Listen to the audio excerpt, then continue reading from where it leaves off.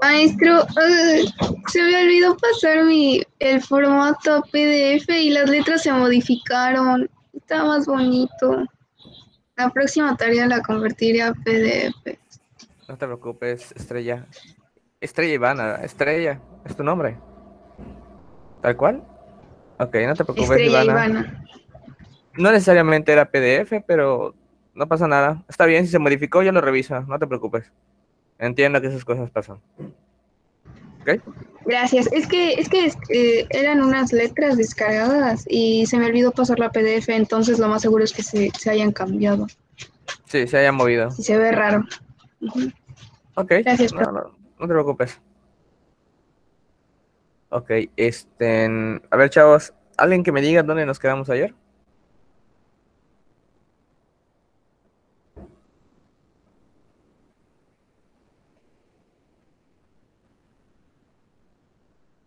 Sustancias puras eh, y mezclas y todo eso, profe. Ok, ¿lo terminamos? No, no lo terminamos. Ok. Muy bien, muy bien. Nos quedamos sin componentes. ¿En componentes? Ok. Sí, Muchas gracias, señoritos, señorita. Eh, pues vamos a continuarle. No es mucho lo que hace falta de, de esta.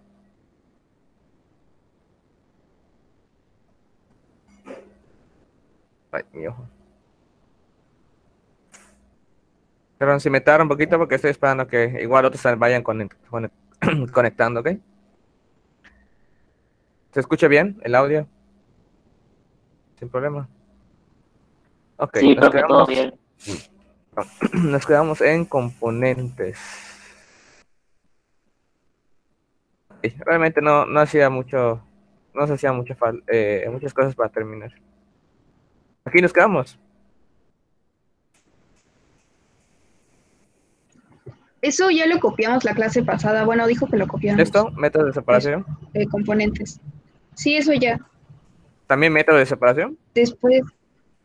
Sí. Sí, eso ya. Este método de mezcla, destilación, filtración, cromatografía. No, no, no, nos quedamos a un poquito más atrás. Este. Es En un- donde está decantatación. Pero ajá, creo que por allá nos quedamos. Ok. Este, voy a repetir esta diapositiva y de a partir de ahí seguimos avanzando, ¿les parece? Por si queda alguna duda de acá. Ok. Ok. Bueno, este. Bueno, lo que estábamos viendo o retomándolo, estábamos viendo los métodos de separación de mezclas. Eh, una mezcla, que alguien me diga rápido. eh, ¿Cuáles son los componentes de una mezcla? Dos o más sustancias simples. Ok. No, no, no, no, no tan atrás. Los componentes de una mezcla. Son dos El componentes. soluto y el solvente. Es- efectivamente. El soluto, eh, de manera rápida o, o según sus palabras, ¿cómo lo definiría? ¿El soluto qué vendría siendo en una mezcla? Heterogéneas y homogéneas. No, esos son tipos de mezcla. Es el que se disuelve en el disolvente y Va a ser el puede disolvente. estar en proporción. Y el que está en, en menor proporción. Muy bien. ¿Y el solvente entonces? Ese debe tener mayor proporción. propor- proporción. ¿Y qué pasa con ella? Y es donde se disuelve el soluto. Efectivamente. Un ejemplo de una mezcla heterogénea. Una pizza. Agua con bien. arena. Agua con arena. ¿Y homogénea? Eh, Una mezcla de Sangre. pastel. La sangre. A ver, de los dos ejemplos que me dieron, Café. ¿qué pasó? ¿Qué pasó? Se apagó la cámara. ¿Mi cámara? Ah, no, la presentación. Ah, eso. ¿Ustedes lo ven? Eh, yo le estoy modificando el tamaño aquí a la ventana. ¿Ustedes lo pueden ver? Igual al mismo Sí, tamaño. profe. Ok, Sí. ok. Este, les comentaba, eh, en la sangre, ¿qué vendría siendo el soluto?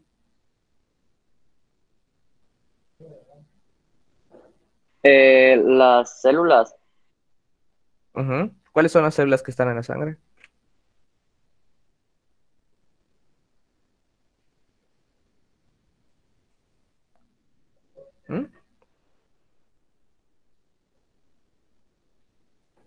El oxígeno, No, esa es una molécula. Los glóbulos rojos. Los glóbulos rojos. Muy bien, muy bien, muy bien. Glóbulos rojos, plaquetas. Ok, trombocitos. Muy bien. En el caso de la pizza, ¿cuál sería un soluto? la salsa de tomate, Salsa de tomate. Ok. ¿Y el solvente? El pepperoni. El pepperoni es otro ejemplo de, de soluto. Y. El queso, ¿El queso sería el, sol- el solvente? ¿Cuál no, no, no, la masa, la masa, La masa, excelente, muy bien, ¿eh? Súper sencillo. Ok, pues bueno, ya vimos las mezclas, lo que queda bastante claro.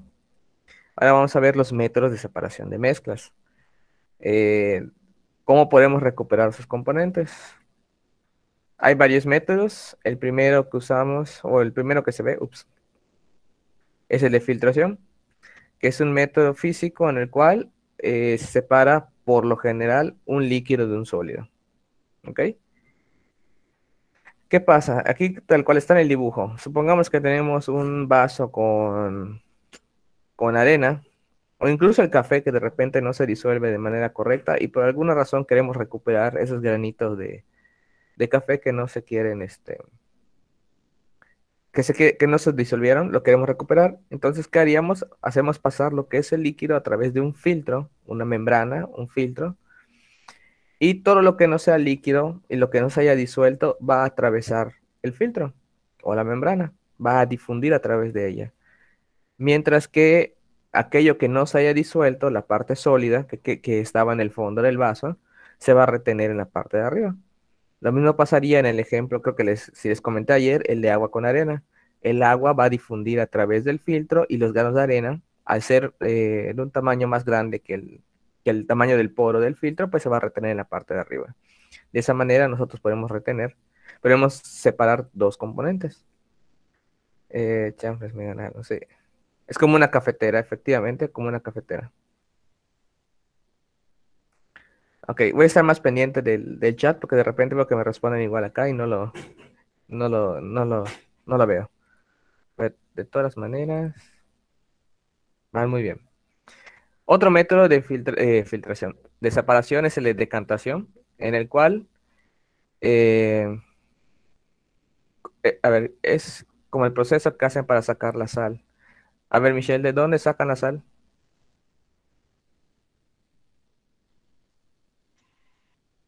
Vamos a ver qué responda Michelle.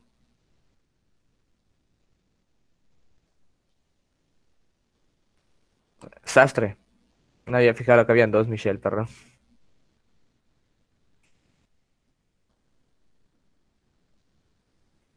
Bueno, mientras Michelle Sastre responde, vemos el método de decantación. En el método de decantación, tal cual lo indica el dibujo.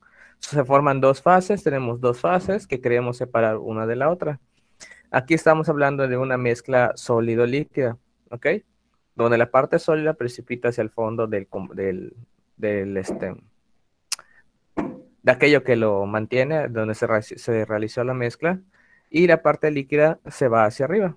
Si nosotros queremos recuperarlo, pues tal cual dice el dibujo, decantamos. Esta acción de separación se le conoce como decantar. Tratamos de eliminar eh, de un recipiente, era la palabra que estaba buscando, de un recipiente, la parte líquida pasando a la otra y reteniendo lo mejor posible la parte sólida en el recipiente original.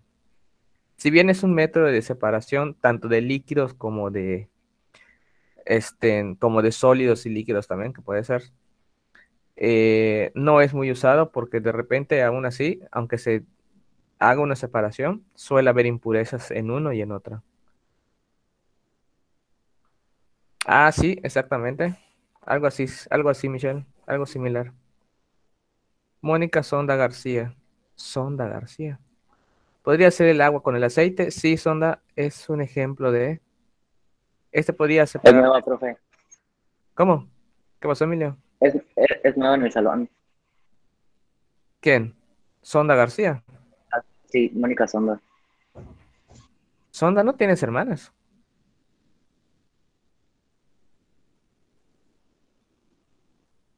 Ah. Vaya, le he impartido clase a las tres hermanitas Sonda García. Interesante. Ay, me las saludas, Mónica. A Sara y a... Ay, no me acuerdo de la otra. Pero bienvenida, así como dicen los compañeros, bienvenida, Sonda. En fin, eh, ¿qué, qué le hacen al, al agua de coco y a él?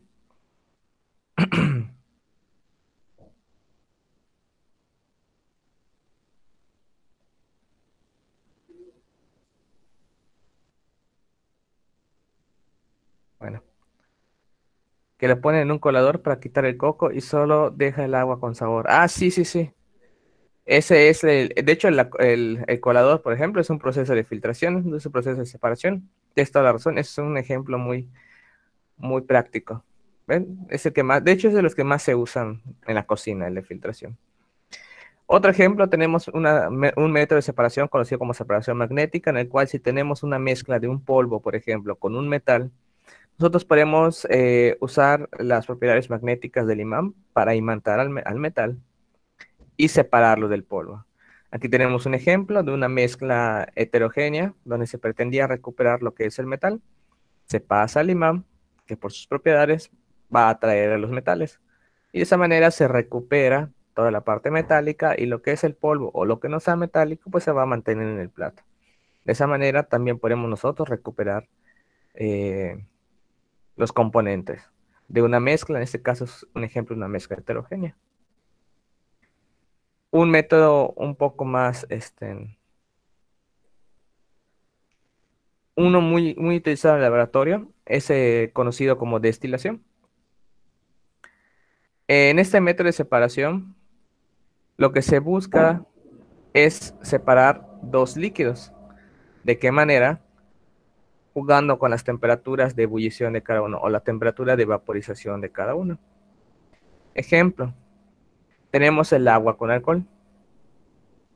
El agua con alcohol es una mezcla homogénea en donde se mezclan perfectamente ambos componentes, tanto el alcohol como, como el agua. Entonces, aquí se presenta un problema. ¿Cómo separamos dos líquidos uno del otro? Para Por eso, destilación. Por destilación, efectivamente. Para eso se usan, eh, se, juegan con las temperaturas de vaporización o de evaporación. De tal manera que nosotros sabemos que el agua se evapora a 100 grados centígrados, mientras que el alcohol en mezcla se evapora a 80 grados centígrados. Si aquí tenemos la mezcla en el matraz balón y, a través del mechero suministramos calor, ¿cuál es la primera sustancia que se va a evaporar o se va a empezar a evaporar? El agua o el alcohol. Que alguien responda. El agua, tal vez. El agua, a ver, de nuevo, el agua se empieza a evaporar a 100 grados centígrados y el alcohol a 80. ¿El alcohol, no, maestro? El alcohol, alcohol. el- efectivamente, el alcohol se va a empezar a evaporar primero. Ese alcohol que se va a empezar a evaporar, muchas gracias a haya respondido. Eh, no veo, es que no puedo ver todos los nombres en, la pantalla, pero muchas gracias por la respuesta. El alcohol se empieza a evaporar. Como es un gas, empieza a elevarse. El gas sube por aquí, sí, por, donde está, eh, por donde está lleno el cursor. Sube, sube, sube, sube. Como no tiene espacio, empieza a pasar a esta columna. Si ven esta columna, ¿no? Aquí les indica que en esta columna pasa agua. El agua que fluye a través de ese serpentín, es un serpentín esto. Es agua que está por lo general a 5 grados centígrados. O sea, es un agua fría. ¿Ok? El vapor del, del alcohol, al pasar por esta columna, ¿qué creen que le va a pasar? ¿Va a aumentar o va a disminuir su temperatura? Disminuir. disminuye.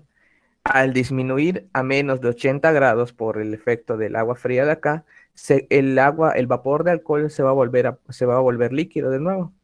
y va a salir al matraz, Erlenmeyer. ¿Ok? De esa manera, a 80 grados centígrados, todo lo que es el alcohol se va a evaporar, va a, va a volver a ser líquido aquí y se va a recuperar acá. Y todo lo que es agua que se evapora a 100 grados centígrados, pues como nunca se llegó a la temperatura de vaporización, pues todo el agua se mantiene en este espacio y el alcohol ya lo recuperamos aquí. Y de esa manera se recuperan los dos componentes. Esta es una manera muy, muy interesante de cómo recuperar dos líquidos a través con, bueno, usando o jugando con las temperaturas de vaporización. ¿Ok? ¿Alguna duda? Si alguien en algún futuro se dedica a la parte de, de química, trabajar en laboratorio, muy seguramente van a, muy seguramente van a usar este método de separación en algún momento, tanto en la carrera como en su trabajo. Métodos de separación. Ese es un método de separación llamado cromatografía. Está muy pequeñito, pero es- se llama cromatografía. Ay, perdón.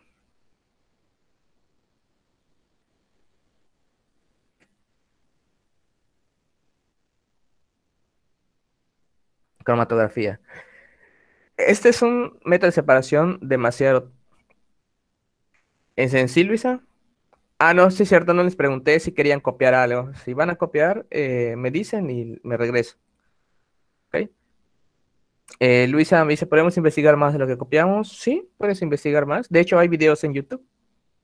Ya les tomé foto. Es cierto. Ay. Perdón, sí es cierto, le pueden tomar foto, no se preocupen.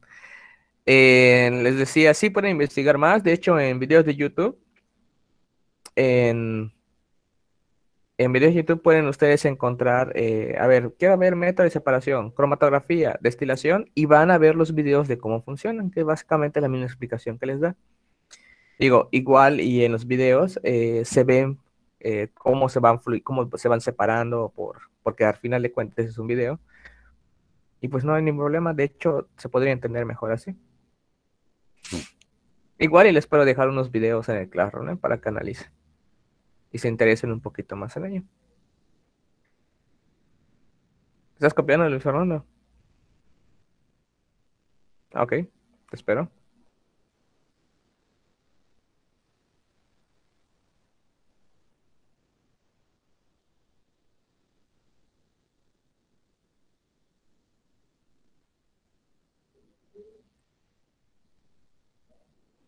Ya esa, esa.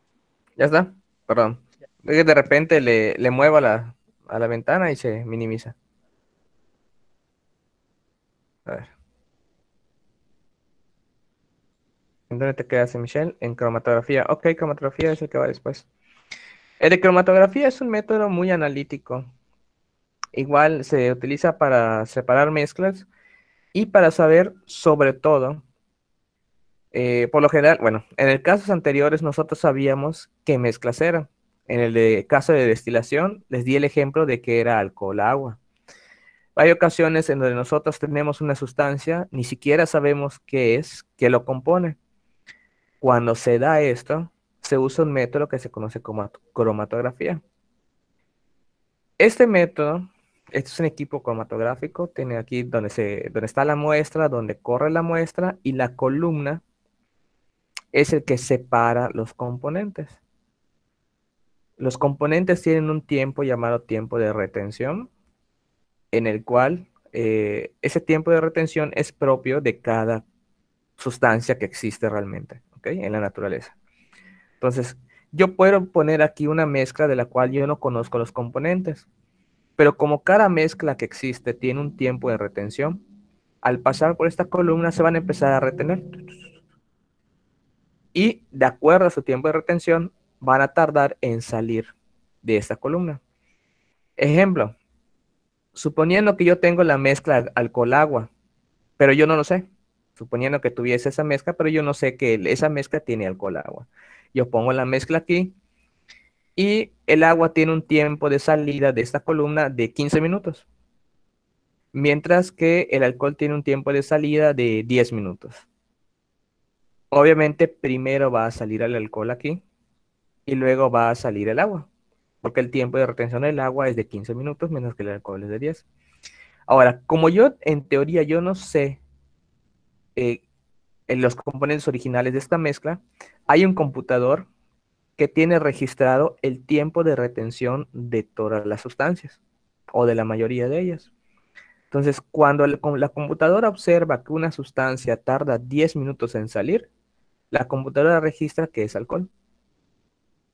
Cuando una sustancia tarda 15 minutos en, atravesar la columna, te va, eh, te va a indicar que se trata de agua. Entonces, ese es un método de separación, se llama cromatografía. Y algo muy interesante de este método es que no solamente nos permite eh, saber qué sustancias están presentes en una mezcla desconocida, sino que además nos permite saber la concentración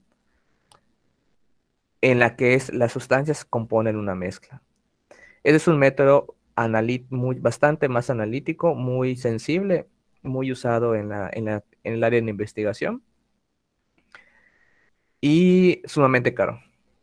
Estas máquinas, si no me equivoco, cuestan más de un millón o cinco millones, algo así, me acuerdo. Una vez trabajé con una de estas y, y cuando creí que la había roto me dijeron el precio y me espanté. Bueno, la cromatografía tiene tres, este, tres componentes básicos. La fase móvil, que es la que fluye a través de la fase estacionaria. La fase estacionaria, pues es la columna que tiene alguna sustancia que va reteniendo a la fase móvil. La fase móvil es el líquido que contiene la mezcla. Y el tiempo de retención, pues el tiempo que tarda cada sustancia en abandonar el sistema cromatográfico, o sea, la columna. Esta es una imagen de cómo se identifica el tiempo de retención. Aquí se inyecta y ese es el tiempo. Por ejemplo, aquí el ejemplo del agua-alcohol. Suponiendo que yo no sé que la mezcla tiene agua y alcohol, pero yo observo que a los dos minutos hay un, hay un puntaje. Sí, sí, sí, puedes creer que sí. hay un puntaje, hay, hay un, este, ¿cómo se llama esto? Un pico. La computadora me dice, ya sabe que a los dos minutos, si sale un pico, se va a tratar de agua o de alcohol. Y cuando se observa un pico, a los seis minutos se va a tratar de agua. Entonces, de esa manera, la computadora ya sabe, me puede, a mí me dice que, el, que la mezcla desconocida tiene alcohol y agua y además me indica las concentraciones de cada una por el tamaño o la amplitud del pico. Si se observan, el pico de, de aquí es este, un poco más ancho y más, más corto, mientras que aquí es un poco más angosto, pero más alto. Aquí ya entra un, un, cálculo que se llama integral para determinar las concentraciones, pero eso ya es un poco más avanzado. Sin embargo, ese es un método muy analítico, por eso contiene varias, varias especificaciones. ¿Alguien va a copiar o le seguimos? Qué sad. Con ese dinero es fácil se combate la muñeca huracán. Ah, está. Hasta el, hasta el modelo te sabes. Ok. Tipos de disoluciones. Eh, hemos visto mezclas eh, sólido-líquido. Por lo general hemos visto... ¿Qué pasó, Emilio? Eh, que tienen dudas o querían copiar algunos. ¿Alguien tiene dudas? ¿Querían copiar? Dígame. Si quieren copiar, me dicen. No, o sea, no, yo voy, como yo, como, ustedes no me dicen nada, yo sigo avanzando. Pero si alguien va a copiar, me lo dice. No hay ningún problema, me detengo un par de minutos. Gracias, Emilio, gracias por recordarlo. De nada, profe.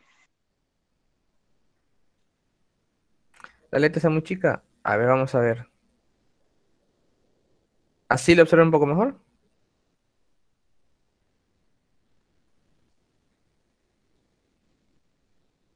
Va, está bien. Por nada, Danilo, María Danilo.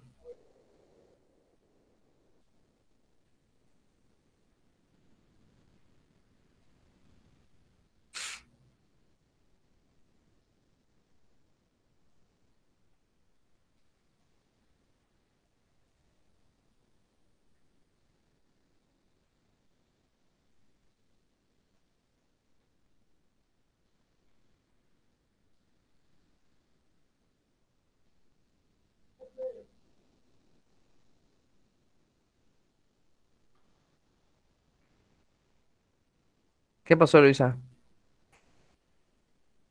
¿Será algo?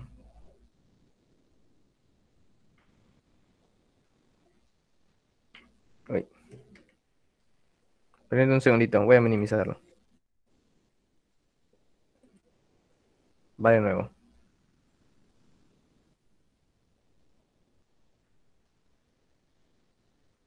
¿Vas a comentar algo, Luisa?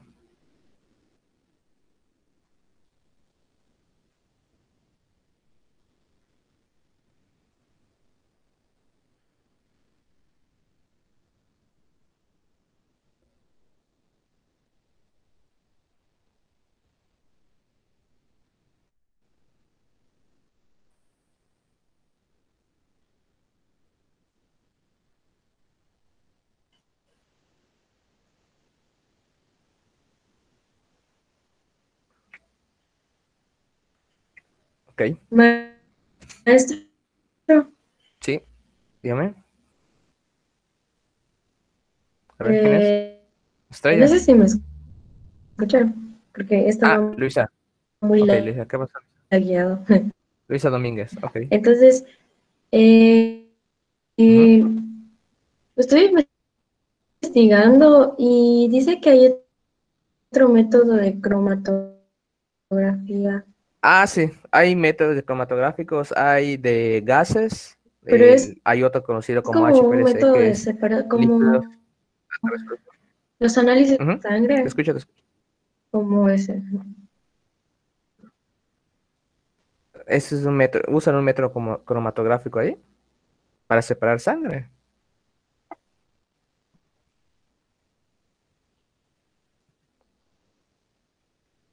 A ver, se escucha. No sé si, es que Luisa no sé si está grabado, está este. mm, Se, no se escucha tu audio. No sé si está fallando tu, tu micrófono o tu internet. No, no- entendí exactamente a qué se refiere.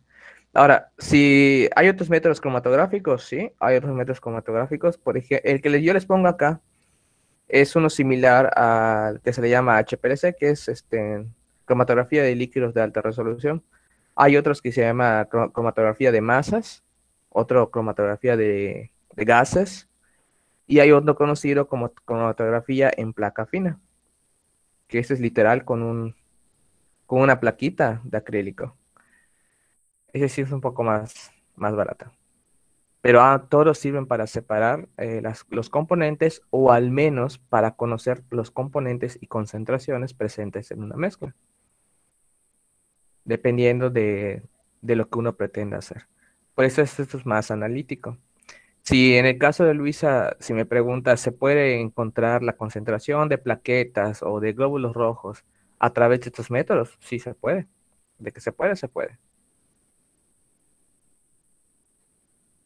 Todas esas máquinas pues esto se aplican en algún momento en el área clínica también. Claro que, que sería como que demasiado,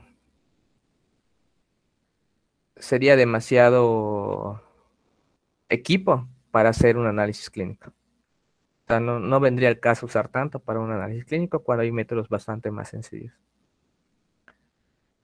Ok, voy a avanzar. Tipos de disoluciones. Por lo general hemos visto eh, disoluciones o mezclas de sólido líquido. Aquí tenemos un ejemplo de una mezcla sólido-sólido. Están la- las varillas aquí, dice zinc en estaño. Que alguien me responda. Tal cual está el nombre, ¿cuál vendría siendo el soluto y cuál el solvente? Creo que el soluto vendría siendo el estaño y el solvente vendría siendo el zinc, ¿no? No, señorito, al contrario. Dice zinc en estaño. ¿Qué quiere decir? Que el zinc está contenido, suspendido en el estaño. Entonces, el soluto aquí pas- pasaría a ser el zinc, Sí, porque mientras que el estaño, al estar en mayor proporción, vendría siendo el solvente. ¿Alguien iba a comentar algo? Ujú, y exacto, ya él es una manera de verlo, como que si el zinc se disolvió en el estaño. Cuando se trate de algo así, pueden decir, pueden pensar que el que se encuentra en mayor proporción. ¿Cuál se encuentra en mayor proporción? El estaño. Por eso dice zinc en estaño. Así, el razonamiento que usó ya él es, es, es correcto. En el siguiente sólido líquido, azúcar en agua. Creo que ya es claro que el azúcar vendría siendo el soluto, mientras que el agua vendría siendo el, el solvente. Luego tenemos una mezcla líquido-líquido. Les puse aquí acetonitrilo agua. Es un poco complicado que hayan ustedes, que conozcan ustedes el acetonitrilo. Pero vamos a ponerle alcohol agua. El alcohol agua es un ejemplo de una mezcla líquido-líquido. Se mezclan perfectamente. Y ah, un- una mezcla alcohol-agua sería una, un ejemplo de una mezcla homogénea. Ahora, si habláramos de aceite-agua, ahí estaríamos hablando de una mezcla líquido-líquido, pero sería una mezcla heterogénea. Entonces, de hecho, estas tres, esas tres mezclas son todas homogéneas. ¿Ok? Son ejemplos, sólido, sólido, sólido, líquido, líquido, sólido. ¿Puedo avanzar?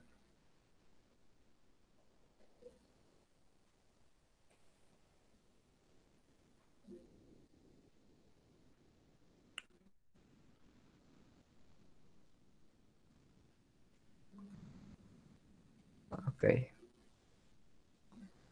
El zinc en estaño es una aleación, ¿sí? Es una mezcla que produce, da como resultado un material um, más duro. Ahí sí realmente el nombre específico del material resultante, pues sí se las debo ahí. Eh, No, no me dedico como tal a la parte de aleaciones, pero sí en teoría es para obtener una aleación eh, mucho más eh, resistente. Eso es seguro. Y en, sí, profe, el zinc en estaño es una aleación, sí. Es algo similar pasa con el bronce. Ok. Ok. Siguiente, soluciones empíricas o cualitativas. Con esta imagen, así como lo están viendo, les muestra tres vasitos. Una donde una mezcla es insaturada, otra donde es saturada y otra donde es sobresaturada. Con solo la imagen, usando su lógica, la solución insaturada, ¿cuáles serían sus características? Eh, tomando en cuenta el soluto y el solvente. Que tiene muy poco soluto. El soluto. Tiene poco soluto, ¿ok? Y en su mayoría hay, hay ¿qué hay en mayoría? Eh, sobresaturado. Solvente, muy bien. En la saturada, ¿cómo creen que está en presencia tanto soluto como solvente? Eh, están en igual cantidad, ¿no? En igual cantidad, muy bien. Ahora, tomen en cuenta que está en igual cantidad, eh, a ver, no necesariamente. Ahora sí, ahí sí le hago un- un- una específica, o sea, está bien la lógica, muy bien usada. Pero más que nada está en equilibrio en cuanto a que el solvente tiene la cantidad suficiente o tiene la medida exacta para poder mantener en suspensión al soluto. ¿Ok? No exactamente la misma cantidad. Porque puede ser que un solvente pueda, pueda disolver mejor otros solutos que otros. Entonces, cuando se habla de saturado es que hay la cantidad suficiente de solvente para poder mantener en suspensión al soluto en turno. Ahora bien, en la sobresaturada, con el dibujito, ¿qué está pasando? Hay más soluto que solvente. Efectivamente. No sé si alguna vez ustedes han visto que preparan su limonada. Bueno, de, si les gusta muy dulce, le ponen bastante azúcar.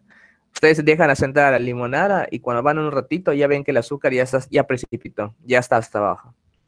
Ese sería un buen ejemplo de una mezcla sobresaturada. El chocomil, ah, lo que pasa con el chocomil es que no se disuelve al 100%. No es tanto que esté, esté sobresaturado. Ahora sí se puede sobresaturar, sí, pero por general es porque no se homogenizó de manera adecuada. Lo digo porque me pasa todo el tiempo, a menos que uses una licuadora. La horchata, la horchata, ah, la horchata, perfecto. La horchata, sí, para que vean. Sería un ejemplo de, de una sobresaturada. Precipita, se asienta. Ese hecho de que algo se asiente en un líquido es porque un soluto está, eh, está sobresaturando la, la mezcla. O sea, ya, ya el solvente ya no es capaz de mantener en suspensión todo el soluto. Como ya no hay espacio para el soluto, pues precipita. Ah, supongo que está completo esto. Disoluciones cuantitativas. Pues las soluciones cuantitativas son las cantidades numéricas exactas de los componentes. Es lo que les decía, en el método cromatográfico no solamente nos indicaba eh, qué sustancias están presentes en una mezcla desconocida, sino que además en la cromatografía nos permitía, nos permitía, nos permitía o nos permite saber, conocer eh, las concentraciones de cada uno de los componentes presentes en la mezcla. Ahora, ¿cuáles son los más comunes que se usan en laboratorios? Eh, la, composición porcentual, que la vamos a ver en el ADA 10. La molar, que también la vamos a ver en el ADA 10. La molar, nada más les voy, se los voy a mostrar a manera de ejemplo en el ADA 10, porque no vamos a resolver de ese. De hecho, prácticamente ya casi no se usa, salvo en, en, este, preparación de algunos, este, muy pocos componentes. Nada más, y donde se, se, usa un poco más es en la industria, este, algo así como de, no puedo decir que de alimentos, pero sí, este, algo que tiene que ver con las mercancías a nivel industrial. Y la normal es una similar a la molar, solamente que aquí, antes que trabajan con la cantidad de moles, aquí trabajan con unos, unos otra, otro valor numérico conocido como equivalentes. De todas maneras, estas son fórmulas. Ahorita se las voy a enseñar. Estas son las más usadas en laboratorios y en, y pues en, el mundo en sí. Son las, las más comunes.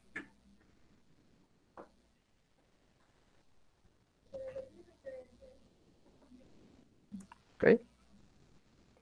¿Están copiando? Avísenme ya sea en el chat o aquí, que ya terminaron.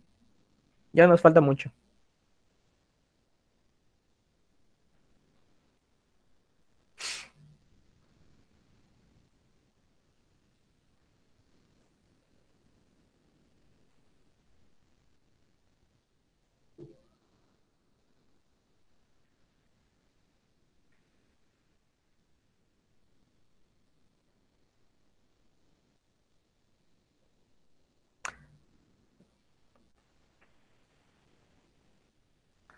Muy bien, Luisa, muy bien. Con toda la confianza. Igual si encuentras algo extraño quieras preguntar, me preguntas. Y si de alguna manera, pues no, pues no me sé todo, tal cual, o sea, todos los métodos de todo el mundo. También si este, lo podemos investigar y, le, y también te los podemos comentar. No, no hay problema por eso. En... Maestra, muy bien. Oigan, este, se me estaba pasando. Ustedes, a ustedes sí les llegó el aviso de que creó un nuevo correo, ¿verdad? Todos lo vieron. Un específico para tareas. ¿Sí? Muy bien. Se los dejé en la, en la plataforma. Eh, les puse. Eh, va, va a quedar de la siguiente manera. El correo de Charlie charlie011190gmail.com. Ese es en donde me pueden escribir dudas, sobre todo en la clase de Classroom, ¿ok? En la clase de Classroom. Ahí comentamos algo, ya sea que les dejo una actividad en la plataforma, en el Classroom, en, en el Classroom, y, este, y las preguntas o las dudas que vayan saliendo, a mí me llegan al correo de Charlie y desde ahí yo les voy a responder. ¿Ok? El otro correo que es el de Carlos Tareas redmexgmail.com, arroba gmail.com, ese es exclusivamente para recibir tareas. Nada de dudas. Ahí no, no voy a resolver dudas porque no me llegan los correos a, o sea, no me llegan los correos en, en tiempo real a mi celular. ¿Ok? Porque pues obviamente no soy todo el día en la computadora, también hago otras cosas, entonces por lo general eh, eh, los correos me llegan a mi celular. El detalle es que esos no me llegan a, a mi celular. Entonces, ¿qué, ¿qué pasa? Por eso les dejo ese correo de Carlos Tareas solamente para recibir tareas. Porque cuando una vez que se pasa el tiempo de corte, de entrega de sus tareas, yo me siento a revisar en la computadora pues los, los correos que me han llegado, exclusivamente tareas. Y también les dejé un formato de cómo lo van a entregar. ¿Ok? Tienen que ponerle apellido, segundo apellido, si no me equivoco, ah, los nombres, si no me equivoco es la materia, el grupo y, este, y el número de tarea. Por ejemplo, en mi caso sería Cabich Córdoba, Carlos Alejandro, Química, eh, primero F, ADA 1. Ese sería el nombre de su archivo. Y también ese mismo nombre de archivo lo van a poner como asunto en el correo. Recuerden que cuando ustedes mandan un correo, le ponen, este, sí está muy largo, así es, pero pues tengo bastantes grupos, entonces por eso tienen que ser tan específicos. ¿Ok? Recuerden cuando ustedes mandan un correo, ponen al correo que le van a mandar, ponen asunto y ponen mensaje. Entonces, en el asunto también va a ir el nombre del archivo, tal cual, tanto en asunto del correo como en el nombre del archivo. Para que no haya eso de que se perdió una tarea, de que se me cuatrapeó las tareas y no les, no les dé a tiempo sus tareas. ¿Qué pasó, Emilia? O sea, entendí que. Cuando mandamos una tarea en correo ponemos asunto más, no sé, un pequeño texto diciendo como que, profe, aquí está mi tarea, para No, que no, no, se no. pierda. No, no, no. En asunto van a poner, a ver, tanto en asunto como en el nombre del archivo, el archivo es la tarea, van a poner, ahí se lo voy a poner en el chat. Suponiendo que yo, les, yo les mando el correo y el, y el archivo. Ujú. Lo van a poner así. Lo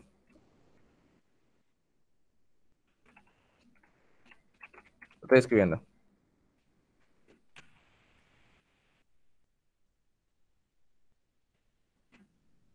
Alejandro, este, química, si no me equivoco es química, ha dado este, primero F, ADA 1, Asiria. Carlos, es Carlos.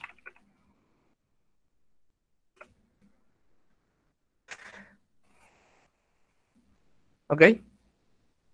Ese nombre, suponiendo que sea eh, la tarea, de todas maneras, en el, en el, en la plataforma les puse eh, el orden correcto. Creo que es, creo que es este mismo orden, pero se los puse en la, en la plataforma de todas maneras. Esto lo van a poner tanto en el asunto del correo como en el, en la clase. Exactamente.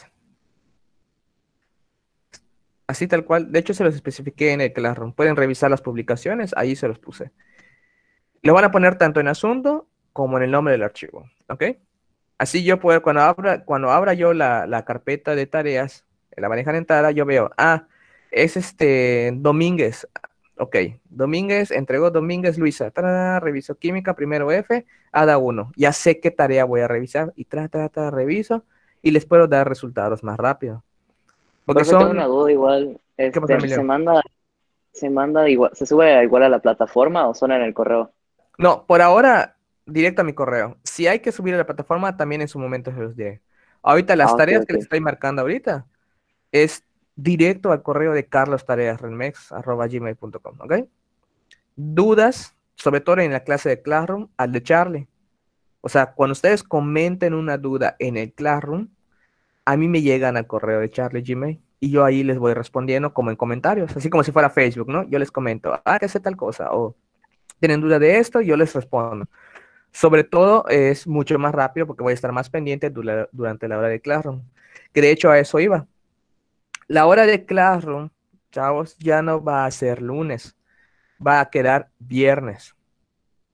Esta clase que nosotros tuvimos ahorita es la única vez que va a ser en línea los viernes. A partir de la próxima semana va a ser en Classroom. ¿Ok? Apúntenlo. La clase de los viernes de 9 a 10 o a 9.50 va a ser la clase de Classroom. ¿Ok? Ya, esa queda fija. Entonces, ¿qué quiere decir? Que el lunes vamos a tener clase en línea. Les voy a dejar el link como lo hemos visto hasta ahora. ¿Ok? Ahora, esta presentación se las voy a subir ahorita a la, a la plataforma. ¿Ok? para que lo descarguen y lo terminen. Ya lo que faltaba eran unos ejemplos de lo de molaridad, pero pues no tiene tanto caso porque lo vamos a ver en la de 10. Entonces, todo lo que teníamos que ver en cuanto al tema en sí, ya lo terminamos. Entonces, este, recuerden que tienen su tarea. Ah, rápido. Si ya habían mandado, si ya habían acabado su tarea y la habían mandado al correo de Charlie, por favor, mándenla al correo de tareas, de Carlos Tareas. ¿Ok? Por favor, si ya la habían mandado, le agradezco mucho, pero mándenla al correo, al correo de tareas. ¿Qué pasó, Ivana? Maestro, ay, gracias. Am, ¿Puedo modificar a PDF? creo que se lo puede. mandé el correo de, de Charlie, creo. Entonces lo puedo modificar al PDF. Modifícalo. Gracias. Modifícalo y mándalo al correo de Carlos Tareas, ¿ok? Si ya lo mandaron, pues manden al correo de Carlos Tareas. ¿Qué pasó, Emilio? Eh, tenía una duda con, con la tarea. Dime. Ya tengo el collage hecho. Igual está de que en orden de la química, o sea, como, como la historia. E igual tengo la línea del tiempo con imágenes e investigación. Tengo que poner aparte la investigación. No, no, no, no, no, no, porque la investigación la haces para hacer la línea de tiempo. El producto final de todo Ah, es la línea bueno. de tiempo. Entonces yo sobreentiendo que ya investigaste. Ah, ok, profe. Entonces yo lo puedo subir así. Lo puedes subir así. Nada más como ya les dije, el nombre tanto en el asunto como en el archivo y al correo de Carlos Tareas. ¿Les parece? Ah, ok. La clase Sí, de maestro. que era para los viernes a esta hora. El lunes tenemos clase en línea. Les dejo el link cinco minutos antes. Oiga, profe, entonces solo la línea de tiempo y el collage. Ujú, efectivamente. Ah, ok. Ok. Bueno, chavos, pues si no hay dudas, les dejo. Hasta aquí llegamos. Pasen un lindo fin de semana.